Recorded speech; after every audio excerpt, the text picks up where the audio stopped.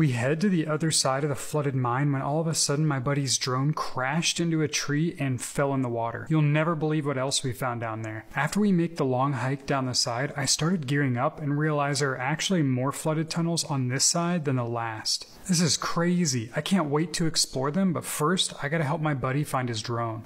And while I was swimming to where I thought it crashed, I looked down and saw an upside down truck on the bottom.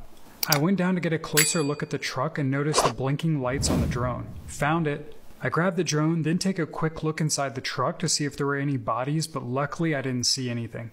Later on after this trip, some locals told me it was just a junk vehicle that some kids pushed in years ago. But I got my buddy's drone back and he was happy for that. Unfortunately, after a week or two and some rice, it still didn't work though. Anyways, back to exploring the mine. We grouped up with the guys on the kayak like in our previous video and started making our way to one of the entrances. Inside, we turned all of our lights on and started making our way through the main tunnel. I'll show you the tunnel and what's at the end in tomorrow's video.